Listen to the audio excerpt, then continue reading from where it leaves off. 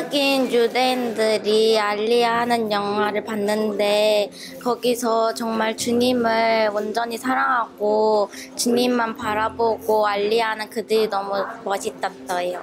이제 그 감독님이 그런 얘기 하셨어요. 이제 영화나 드라마를 볼 때마다 이제 이스라엘 갔었을 때 장면들이 많이 떠오른다는데 저도 이제 코로나 전에 한번 성지 순례를 갔던 적이 있었는데 그때 모습이 떠오르면서 아 그때 그냥 스쳐 지나갔던 여러 가지 지역이나 여러 가지 모습들이 사실은 여러 가지 역사의 모습들이 담겨져 있었고 영화가 정말 길잖아요. 2시간 반, 3시간 이렇게 되는데 그걸 압축하셔서 시간을 이렇게 정말 줄여서 아, 이스라엘이 어떤 나라구나, 유대인이 어떤 어, 민족이구나 이거를 더 알 수 있으니까 정말 유익한 시, 시간인 것 같습니다. 한편 한 편마다 너무 진짜 너무 숙연해지게 만들어서 뭘 선택할 수가 없는데 지금 막본 그 알리 코엔의 인생이 정말 가치 있다.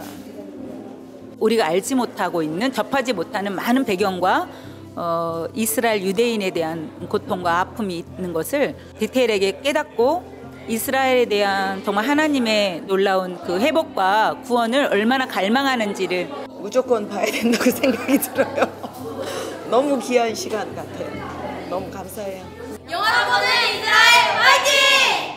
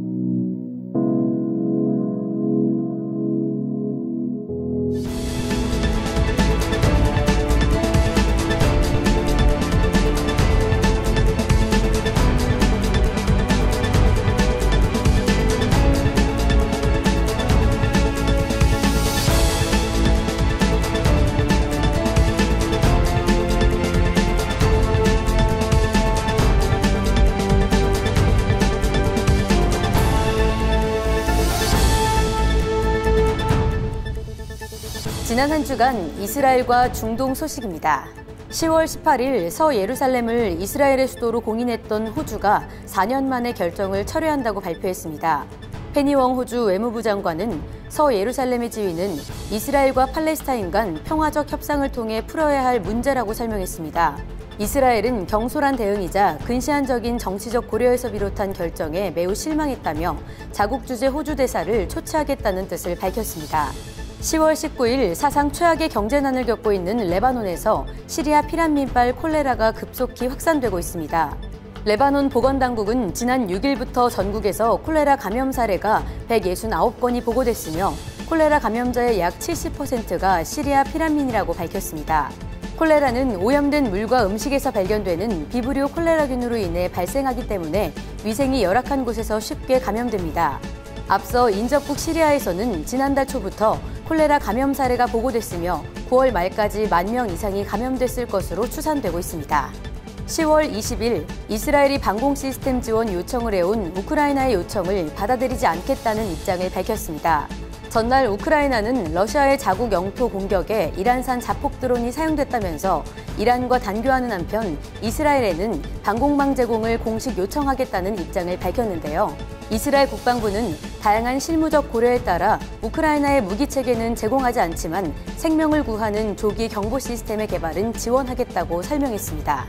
10월 21일 이스라엘 장학금 교육재단은 이스라엘 학부모 중 41%가 자녀의 대학 진학을 위한 재정 지원을 할 수 없는 상태라고 발표했습니다. 총 522명의 응답자를 대상으로 한 이 설문조사에서는 재정적인 이유로 자녀 교육에 어려움을 겪는 부모의 45%가 아랍 출신, 39%가 유대인이라고 밝혔습니다. 해당 재단은 이번 설문조사가 돈이 있는 사람들만 깊은 학문적 공부가 가능하다는 것을 증명한다며 안타까운 심정을 표했습니다. 2022년 10월 26일자 이스라엘 투데이 시작합니다. 이스라엘과 이스라엘을 둘러싼 중동 여러 나라들 지난 한 주간에도 참 많은 일들이 있었는데요. 그 중에서도 저희가 자세하고 구체적으로 들여다보면서 분석해 볼 첫 번째 이슈 어떤 건지 알아보도록 하겠습니다. 사우디아라비아가 포함된 석유 수출국 기구 오펙 플러스가 석유 감산을 결정하자 조 바이든 미국 대통령이 감산 결정을 주도한 사우디와의 관계 재검토를 고려 중이라고 밝혔습니다. 사우디는 감산 결정을 늦춰달라는 미국의 직접적인 요청을 받고도 이를 무시한 것으로 전해져 양국의 관계 악화가 심화될 수 있다는 전망이 나오고 있는데요. 존 커비 백악관 국가안보회의 대변인은 오펙 플러스의 감산 결정과 관련해 대통령은 사우디와의 양자 관계를 재평가해야 한다고 밝혔습니다. 바이든 대통령은 석유 증산을 위해 직접 사우디까지 방문했지만 빈손으로 귀국하면서 외교력에 대한 비판까지 받은 바 있습니다. 오늘은 사우디와 미국 얘기를 좀 해야 될 것 같아요. 두 나라 사이에 요즘 아주 찬바람이 아주 쌩쌩 부는데 꽁꽁 얼어붙을 것 같아요. 근데 이게 사실은 어제 오늘 얘기가 아닙니다. 미국과 사우디 지금 어느 정도 이 사이가 안 좋은 겁니까? 그러니까 최근 격돌한 게 이제 뭐냐면 바이든 대통령이 오펙 플러스 감산 결정을 주도한 사우디와 관계 설정을 재검토하겠다 이렇게 얘기를 했고요. 근데 그런 배경이 된 이유가 뭐냐면 이제 월스트리트저널에 따르면 사우디는 감산 결정을 늦춰달라는 미국의 요청을 완전 묵살하고 그냥 그냥 감산하는 결- 조치를 한 거예요. 그래서 200만 배럴 정도를 감산했다고 합니다. 그러니까 사우디는 감산을 하겠다. 그러니까 원유를 더 많이 안 뽑아내겠다 이렇게 주장을 하고 미국은 그러지 말라 이렇게 부탁을 하고 있고 그럼 왜 사우디는 감산을 하겠다라고 하는 것이고 미국은 왜 자꾸 감산하지 말아 달라 이렇게 부탁을 하고 있는 겁니까? 그리고 겉으로 드러난 이유 말고 진짜 속내는 또 어떤 겁니까? 그러니까 지난 7월에 이제 바이든이 중동 순방을 했지 않습니까? 그때 이제 순방한 이유가 그 제발 좀 증산 좀 해달라. 그 원유까지 고인플레이로 이제 뭐 미국 유럽이 고생하고 있으니까 좀 낮춰달라라고 요청을 했는데 알겠다고 얘기를 해놓고서 이렇게 해놓은 거죠. 빈살만이 예, 본질적으로 이 내용이 뭐냐면 사우디 입장에서는 전 세계가 이제 팬데믹도 있고 등등 뭐, 뭐 물류 사슬도 끊어지고 해서 경기 침체예요. 원유 가격이 많이 하락하고 있기 때문에 주력 상품인 원유 공급을 축소 내지는 감산을 할 수밖에 없는 구조거든요. 근데 미국 같은 경우는 이제 중간 선거도 있지만은 더 본질적인 게 뭐냐면 러시아거든요.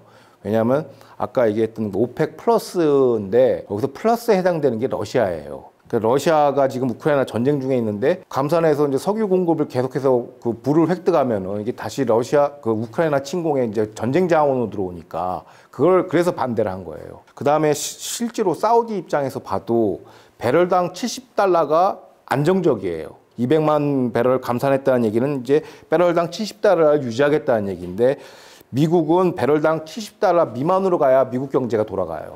그래서 이제 본질적으로 충돌할 수밖에 없죠.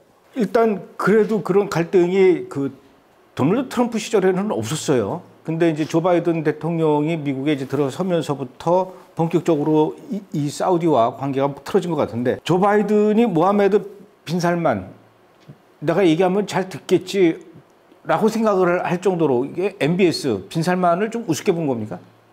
그러니까 그런 측면이 없잖아 있죠. 왜냐하면 이제 2018년도에 이제 워싱턴 포스트 칼럼니스트인 이제 자말 카슈끄지 살해 혐의로 이제 인권 탄압 국가라고 막 국제적으로 찍었거든요. 그래서 왕세자를 완전 그냥 뭐 인간 이하의 인간 백정으로 만들어놨단 말이에요.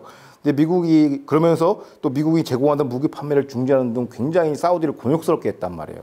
그러니까 MBS도 반발하죠. 왜냐하면 사우디 내에서는 MBS는 이제 약간 개혁군주예요. 그래서 그 트럼프 정부랑 연관되는 게 뭐냐면 트럼프 정부 때 셀가스로 더 원유 가격을 더 낮춰버렸단 말이에요.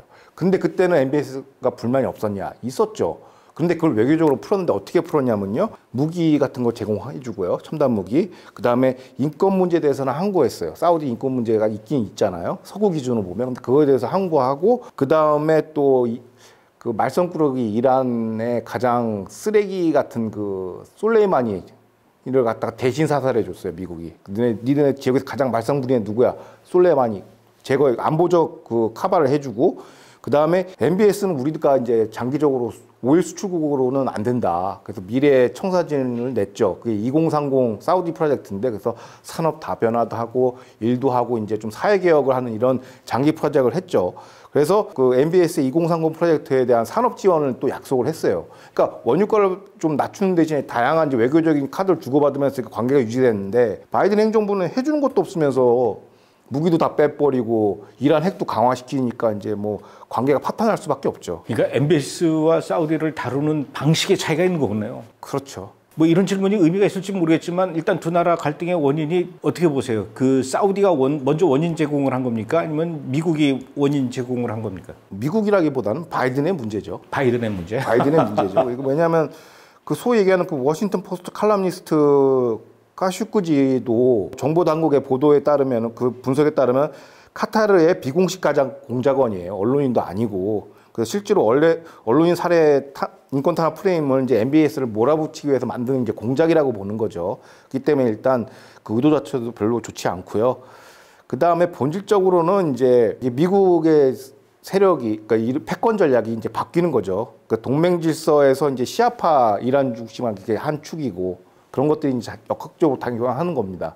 그런데 이렇게 둘이 헤어질 때라도 아름답게 헤어지거나 연착륙 시켜야 되는데 이걸 막 우당탕하면서 하니까 보는 사람이 조금 민망하긴 하네요. 그래도 이 미국과 이 사우디와의 이 동맹 관계 이거 거의 100년의 역사를 가질 정도로 80 굉장히 80여 년 될 정도로 굉장히 두 나라 간의 그 관계가 좋았는데 이 참 조 바이든이 들어서면서부터 이렇게 삐거덕거리는데 만약에 미국의 엄포대로라면 사우디와 아랍에미레이트에서 미군 병력과 미국의 무기 어, 사드 또 패트리엇 이런 걸 다 뺀다.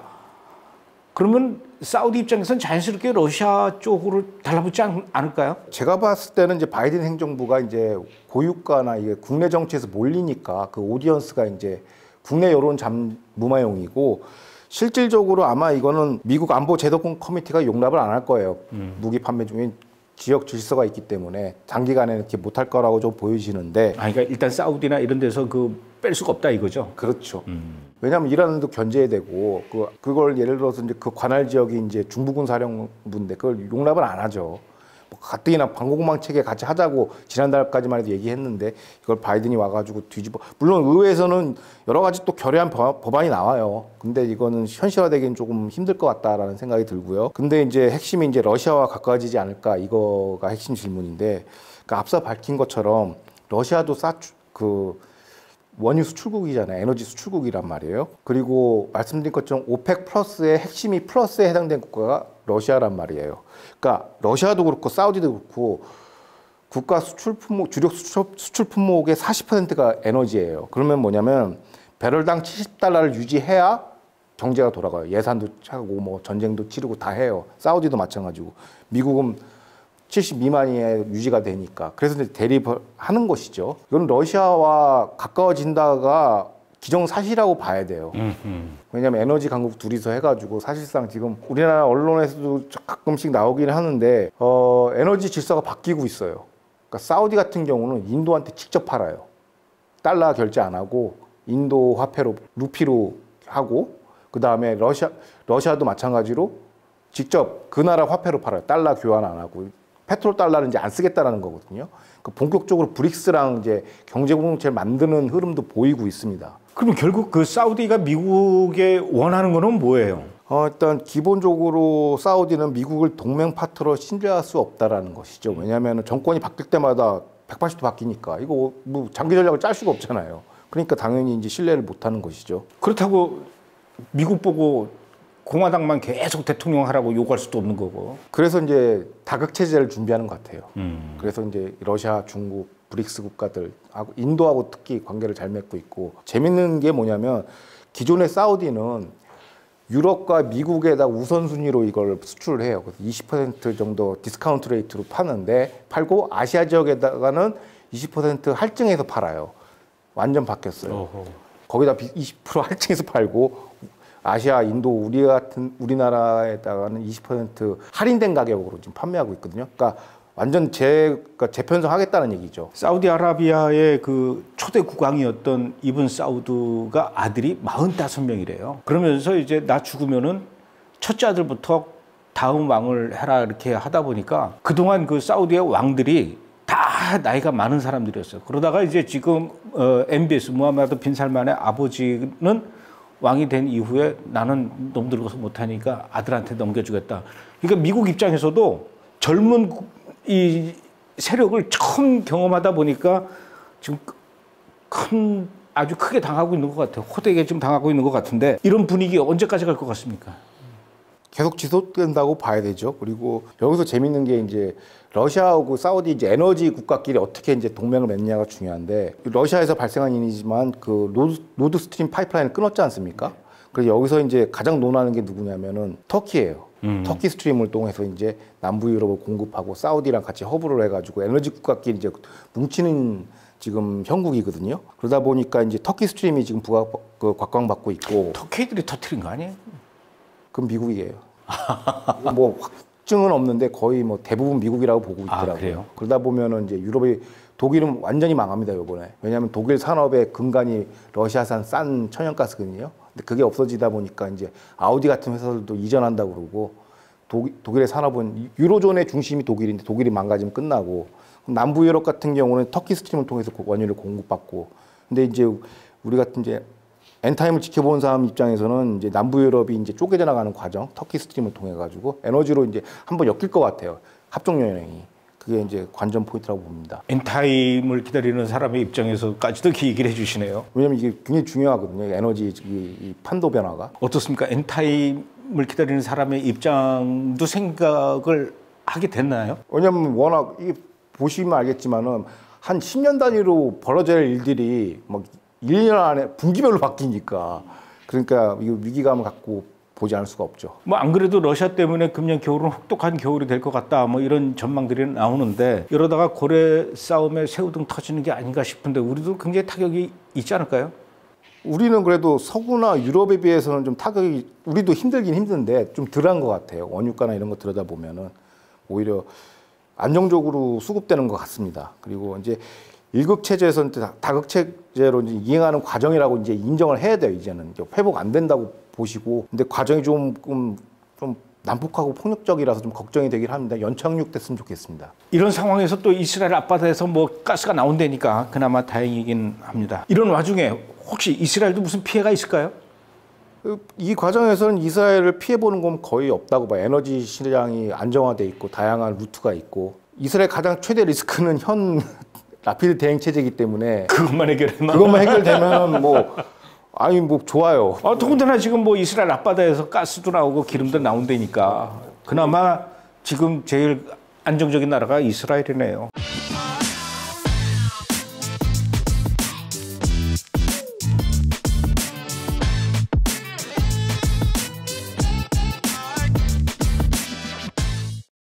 자 이제 다음 두 번째 분석해볼 이슈 알아보도록 하겠습니다. 베니 간츠 국방장관이 아르메니아와 분쟁을 벌이고 있는 아제르바이젠을 방문했습니다. 지난 10월 3일 간츠 장관은 이날 아제르바이젠 대통령과 여러 장관들을 만나 중동 지역의 변화에 대해 의논하고 양국의 국방 협력을 강화하는 회담을 가졌습니다. 현재 아제르바이젠은 아르마니아와의 3차 무력 충돌로 인해 미국의 규탄을 받고 있는데요. 하지만 이스라엘은 아제르바이젠을 영내 핵심 전략 파트너이자 무기 수출의 중요 고객으로 인식해 협력을 도모하고 있습니다. 이번엔 아제르바이젠으로 좀 넘어가 보겠습니다. 여긴 또왜 그러는 겁니까? 아제르바이젠과 아르메니아 두 나라가 지금 심상치 않게 서로 사이가 안 좋은가 본데 무력 충돌이 일어날 만큼 두 나라 간의 그 관계가 안 좋은가 봐요. 예, 이제 이게 구소련으로 이제 거슬러 올라가면 이게 두 나라가 다 소련의 위성 국가에 속했던 나라인데 1980년대부터 나고고르노 카라바흐 국경 지역을 둘러싸고 영유권 분쟁이 있었습니다. 근데 그 이유가 뭐냐면 그 방금 언급했던 그 나고르노 카, 카라바흐 지역이 아르메니안이 다수 거주하고 있고 하지만은 영토는 실제로 주권은 아르제바이잔이 이제 행사하고 있어요. 그러다 보니까 계속 종족 분쟁이 일어나고 있던 것이죠. 그런데 이게 91년 말에 이제 소련이 이제 해체되고 나서 이제 1차 전쟁이 일어났죠. 1차 전쟁에서는 94년 전쟁에서는 아르메니아가 승리해서 이 지역을 이제 장악을 했죠. 점령을 해서 이제 아르베잔의 일부 영토까지 먹었는데 2차 또 전쟁이 있었습니다. 그게 2020년 2년 전 9월에 재발한 전쟁에서는 요번에는 아제르바이잔이 이겼어요. 그래서 또 다, 다시 회복을 했죠. 수복을 했죠. 근데 3차 분쟁이 이제 지난 9월 3차 분쟁이 있었는데 이때도 이제 사상자가 꽤 많이 났는데 이게 전쟁이 자꾸 이제 잦아지는 이유가 러시아가 지난 2월부터 우크라이나 침공을 하면서 구소련 국가에 대한 영향력을 이제 상실한 그거라고 이제 전문가들은 지적하고 있습니다. 결국은 이제 땅 문제예요. 영토 문제인데 이 두 나라 간의 분쟁을 바라보는 국제 사회의 시각, 특히 미국은 어느 쪽 편을 들고 있습니까? 그러니까 미국과 서구는 이제 펠로시 의장은 방문했어요.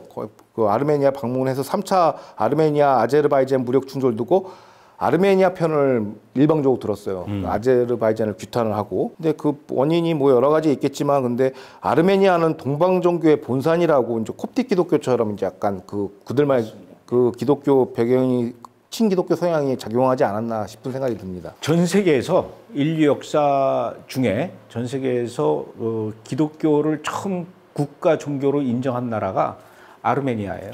그래서 예루살렘에 가면은 올드시티 안에 아르메니안 구역이 따로 있습니다. 그래서 여기는 거의 한 2000년 동안 아르메니아의 기독교 신자들이 그 땅에서 살아왔기 때문에 1948년에 그 이스라엘이 건국한 이후에도 이 아르메니아 구역은 이스라엘이 어떻게 할 수가 없어요. 그래서 거기에 이스라엘 경찰서가 있는데 이스라엘 경찰서가 그 아르메니아 사람들한테 월세 내고 있어요. 그런데 미국은 아르메니아 편을 들었어요. 그런가 하면 또 이스라엘은 아제르바이잔 편을 들었어요. 왜 그런 겁니까? 그러니까 이제 현실적인 이유인데요. 물론 지중해를 통해서 천연가스는 들어오지만 또 petro죠. 원유 같은 오일 같은 경우는 이제 그 아제르바이잔 근처에 있는 카스피해에서 그걸 뽑아오거든요. 그 카스피해에서 이제 지중해를 연결하는 바쿠, 트빌리시, 제이한 수송 파이프를 통해서 이제 수입하기 때문에 에너지가 어떻게 보면 국가 안보의 1번이거든요. 그러니까 이거는 기 때문에 좋은 관계를 유지해야 되고 1번. 두 번째는 또 인도 다음으로 이스라엘의 최대 무기 그 수입국입니다. 아하. 그게 17%를 차지한다고 그래요. 이스라엘 방산 수출액에. 그러다 보니까 이제 또 무시할 수 없는 국가고 더 잘 지내야겠고 그 다음에 또 지정학 관점에서 보면은 아제르바이잔이 이란 국경을 맞대고 있어요. 그러니까 이란 북쪽에 이제 있거든요. 그러다 보니까 친 이스라엘 파트너로서 이란을 견제하기는 최적의 국가가 될 수밖에 없겠죠. 그래서 그 제가 조금 전에 말씀드렸던 예루살렘에 있는 아르메니아 사람들이 이스라엘 경찰서한테 월세를 더 올려받지 않을까 이런 걱정이 드는 앞으로 그런데 이스라엘하고 아제르바이잔 어떻게 협력을 하겠다라는 겁니까? 지금 러시아가 약간 세력이 약화된 틈이 있어서 이제 아제르바이잔에 대한 이제 서방과 러시아의 제재가 좀 있었어요. 그래서 뭐 러시아가 직접 제재, 제재하는 건 아니지만 무기 금수 조치가 걸려 있어가지고 알메니아랑 이제 충돌하는데 무기가 없었거든요. 근데 이거를 이제 이스라엘이 해결을 해줬죠. 그래서 지난 5월 달에도 그게 뉴스에 나왔어요. 그 이란 이스라엘 드론이 공격 이제 전개하는 모습들이 나와가지고 수출한 걸 해서 전력 열세를 단순히 극복을 했습니다. 아제르바이잔이. 그리고 또, 또 이, 이것도 뭐 무기 수출도 중요하지만 제일 중요한 게 이제 이란이죠. 음. 그러니까 이스라엘이 이란을 예를 핵시설을 타격한다는 시나리오를 설정했을 때 가장 힘든 게 뭐냐면 장거리 폭격이 힘들거든요. 전투기가 날아가는 게 힘들죠. 예, 왜냐하면 그 중간에 이제 공중급유를 해야 되는데 바이든 행정부가 뭐 줬다 뺐다 뺐뭐 믿을 수가 없으니까 그럼 어떡하지? 그러니까 보니까 바로 위에 있잖아요. 그러면 이제 일종의 아제르바이잔이 이란의 초크 포인트로 그냥 바로 그냥 타격할 수 있는 위치가 되죠. 맞습니다. 예. 그러니까 이제 이스라엘 입장에서는 물론 그런 뭐 여러 가지 알메니아하고도 이제 친분 관계가 있지만 그래도 국가 생존이 일본 아니겠습니까? 그러니까 현실적인 초이스인 것 같습니다. 그래서 아제르바이잔이 옛날에 구소련 시절에 러시아가 거기다가 만들어 놓은 공항 활주로, 공군 부대 이거를 이스라엘이 좀 사용하고 있어요. 그래서 이스라엘 전투기가 거기 가 있어가지고 여차하면 그 아제르바이잔 활주로에서 이란까지는 금방 날아가니까 그 정도로 군사적인 그 협력 관계가 있어요. 아르메니아하고 아제르바이잔 갈등에 서로 어떤 입장을 취하느냐 각자 나라의 그 입장이 있으니까 국익을 생각해야 되니까 그런 복잡한 문제가 있네요. 예, 예. 예.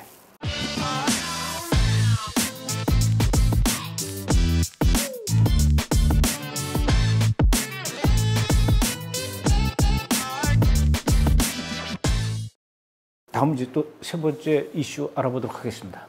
2022년 글로벌 스타트업 생태계 지수에서 이스라엘의 테라비브가 7위를 기록하면서 이스라엘이 또다시 스타트업 강국으로 자리매김했습니다. 인구 900만에 불과한 이스라엘이 스타트업 강국이 될 수 있었던 비결 중의 하나가 이스라엘의 군복무 체계에 있다는 분석이 제기됐는데요. 위계질 수 없는 수평적 문화와 자유로운 의사소통, 군 생활 중 다져진 팀워크 등 이스라엘 군만의 독특한 특징이 스타트업을 육성하는 기본적인 토양이라고 현지 매체는 분석했습니다. 이스라엘은 뭐 전 세계가 알아줄 정도로 유명한 스타트업 국가입니다. 특히 이스라엘의 경제 도시 테라비브는 스타트업으로 아주 유명한데 테라비브의 스타트업 규모가 어느 정도 됩니까? 그러니까 2021년 기준으로 200억 달러의 투자를 유치했고요. 스타트업 생태계가 총 한 1,200억 규모라고 추정치가 나와 있습니다. 그래서 지금 2020년 현재는 이스라엘에는 이제 7천여 개의 스타트업이 있고요. 나스닥에 상장된 기업 수가 100여 개가 넘어요. 그리고 이제 이거를 이제 측정하는 이제 스타트업 생태 지수에서 물론 1위는 확고부동한 이제 미국 실리콘밸리지만 7위로 등록돼 있습니다. 그러면 경쟁 도시가 어디냐 하면 런던, 뉴욕시가 2등, 보스턴이 4위, 베이징이 5위, LA가 6위인데 그 다음이 이제 7위죠. 그럼 이제 인구 900만에서 이 정도면 엄청난 성과라고 볼 수 있겠죠. 그리고 주력 분야는 이제 AI랑 사이버 보안, 그 다음에 빅데이터 분야에서 강세를 보이고 있고요. 그러니까 신규 특허 출원이 연, 매년 169% 증가하고 있습니다. 그러니까 어마무시한 이제 이제 뭐 powerhouse라고 볼 수 있겠죠. 몇 년 전에 창업 국가라는 책이 우리나라에서 번역돼 가지고 출판됐는데 엄청난 그 베스트셀러가 됐어요. 그 정도로 이 이스라엘의 그 창업 국가 창업에 대해서 전 세계가 관심을 가질 만큼 아주 창업 강국이 됐는데 그 배경에는 이스라엘 군대가 있기 때문에 그렇다 이런 이야기가 있어요. 이스라엘의 창업과 스타트업과 군대 어떤 관련이 있습니까? 그러니까 이제 먼저 이스라엘 그 군제대가 군 그 징병제인데 우리하고 좀 비슷한 징병제지만 좀 달라요. 그 우리나라는 이제 연기를 스물아홉 살까지 연기가 가능한데 여기는 고졸을 고등학교 졸업하자마자 바로 들어가야 돼요. 그리고 들어가기 전에 뭐 여러 가지 이제 적성 검사, IQ 검사를 하는데 그 IQ 검사에 따라서 보직 배경을 하고 그다음에 지역 단위가 아니라 보직 단위로 이제 뽑아요. 그래서 여기서 한번 군대가 하나의 그 동창회 네트워크가 돼요. 그리고 이스라엘 교육도 지, 저희가 지난 방송에서 한번 말씀드렸지만 예시바 교육이라고 이제 주로 이제 무제한 토론이죠. 그 다음에 토통 문화를 강조하는데 이게 군 조직에 그대로 이관이 됩니다. 치환이 됩니다. 그러니까 중간 뭐 군대 조직이라고 뭐 계급 사회이긴 하지만은 장교 밑에서는 이제 선후 뭐 이게 뭐 선임 후임에 대한 이제 소통에 관한 업무 소통에 관한 그 장벽은 없다고 해요. 그래서 이런 토론 문화가 지속적으로 그 군내에서도 이루어지고 있고요. 그 그걸 기반으로 이제 팀워크와 네트워크를 형성해서 제대 후에 이제 테라비브라는 그 국제 도시죠. 어떻게 보면 거기에 이제 거기에 스타트업의 어떻게 보면 심장인데 미국 치면 실리콘밸리인데 여기에서 창업할 때까지 그대로 유지된다는 겁니다. 뭐 모든 이스라엘 젊은이들이 군대 간다고 해서 다 뭐 유리한 건 창업하는데 유리한 거는 아닐 것 같고 그 군대에서도 특별히 창업에 유리한 보직이 있을 것 같아요. 뭐 탈피옷 부대라든가 또 8200 부대 이런 데도 있죠. 예, 그 탈피오트 부대는 히브리어로 이제 견고한 산성이라는 뜻인데 이제 이게 용키포르 전쟁에서 이스라엘 방위 체계에 이제 허점이 발견되면서 이제 그걸 보완하고자 창설된 부대인데 여기서는 거의 뭐 아까 말씀드렸던 그 IQ 검사나 이런 거 해서 가장 우선 차출을 한다, 한다고 합니다. 머리 좋은 친구들만 불렀는데 이 부대에서의 업적 중에 하나가 뭐냐면 아연동 개발을 그 아이디어를 제공한 부대예요. 음. 그리고 이제 탈피오트와 쌍벽을 이루는 부대가 이제 사이버 전사 부대, 우리로 사이버 사령부인데 전 세계 최강의 해커 전사를 보유하고 있는 게 8200 부대인데 여기가 이제 또 스타트업의 이제 심장 역할을 하는데 우리 뭐 안 좋은 소식으로 우리 언론에 많이 보도됐지만 이스라엘의 스파이웨어 그 NSO의 페가수스를 여기서 만든 거예요. 이 부대 출신원들이 만든 거죠. 그래서 두 부대의 특징이 뭐냐면 앞서 말씀드린 것처럼 우수두뇌의 병력을 우선 차출해서 그러니까 미션 위주로 이제 돌리는 거예요. 당면 안보 문제나 뭐 예를 들어서 아까 얘기했던 이란을 폭격하기 위해서 최적 코스를 계산해봐라. 그럼 얘, 이 부대에서 계산하는 거예요. 이 정보부대 둘에서. 그리고 소대 혹은 분대 단위로 이런 미션을 수행하다 보니까 사이버 등 다양한 전장 시나리오에 대한 그 기획도 하고 시, 집행도 하고 실천도 하는 정보부대입니다. 이 팀워크가 이 어, 검증된 전투력이 이제 사회 나가면 소대 단위가 그대로 창업센터로 가요. 음. 그러니까 분대원이 사실상 스타트업 창업 멤버가 되는 거죠. 그러니까 인력 유출이 없고 즉시 전력감으로 벤처 생태계에 뛰어드는 겁니다. 그러다 보니까 이 이스라엘 군대가 이제 국가 단위의 이제 인사부처럼 이제 활용이 되는 것이죠.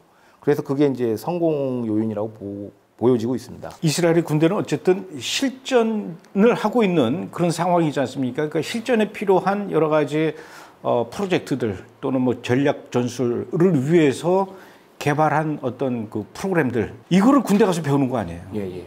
그리고 그 배운 걸 가지고 제대를 하니까 굉장히 그 실전적인 그런 그 창업하는데 아주 그냥 제일 빠른 방법이고 또 하나는 군대 안에서 같이 이 프로젝트를 진행했던 군 동료들은 어찌됐든 같은 내무반에서 먹고 자고 하면서 이 생사를 같이 했던 전우회가. 전우회를 기본으로 갖고 있었기 때문에 역시 같이 창업을 해도 어 뭐 갈등이 있거나 뭐 싸우거나 뭐 그렇죠. 찢어지거나 이러지는 않을 것 같아요. 예, 예. 이런 장점이 있는 것 같습니다. 저도 그랬고 어, 대부분 우리나라의 그 젊은이들은 군대를 입대하는 순간 아이고 언제 제대하나 이렇게 하고 제대 날짜만 손꼽아 기다리는데 이렇게 그 이스라엘처럼 어, 군대를 가는 것이 인생에서 가장 중요한 교육의 어떤 시간들 로 만들어 주는 거 그리고 제대를 하면 뭔가 남는 게 있다라는 거 제 입장에서는 되게 그 부러운 군대 문화인 것 같아요. 예, 예. 뭐 아무래도 이제 그러니까 자기 보직 원하는 거 딱딱 해가지고 해주면 병영 생활 만족도가 올라가겠죠. 제가 듣기로는 아, 8200 부대 중에 하나가 또 뭐가 있냐면은 우리나라로 치면은 그 자폐증 환 자폐증 같은 그 자폐증을 앓고 있는 아스퍼거 환자. 에, 그런 젊은이들을 따로 모아가지고 1분 전에 찍은 위성 사진과 1분 후에 찍은 위성 사진을 순식간에 분석하는 거죠. 그래서 어 여기 바뀌었네 이런 것들을 할 정도로 자폐증이라고 해서 자폐아라고 해서 뭐뭐 군대를 안 가고 이런 게 아니고 그러니까 천재적인 능력은 다 뽑아내는 거거든요. 그러니까 심지어는 한국 교민들의 자녀들을 이스라엘 군대에서 그렇게 좋아한대요. 뭐 너네들 군대 입대해라. 그러면은 부모들과 너희 가족들을 전부 다 이스라엘 영주권을 주겠다. 한국 가정의 어, 자녀들이 이스라엘 군대 가서 뭘 하냐면요. 저 북쪽에 골란고원 쪽에 그 시리아하고 레바논의 그 경계에 가서 이 도청 근무를 한대요. 그 도청 근무를 하다 보면은 북한 사람들이 거기 와가지고 이렇게 아, 어, 헤즈볼라하고 같이 뭐 하는 것들을 그 소요가 있군요. 그거는 뭐 이- 이스라엘 군인들은 젊은이들은 그런 거못 알아듣잖아요. 근데 이게 듣다 보니까 아 동무 저기 있는 폭탄 이리 갖고 오라고 뭐 이런 얘기를 이스라엘 군인들은 못 알아듣는데 한국 젊은이들은 다 알아들으니까 그냥 조그만 나라에 별일이 다 있네요. 오늘은 여기까지 하죠. 예, 감사합니다. 고맙습니다. 예.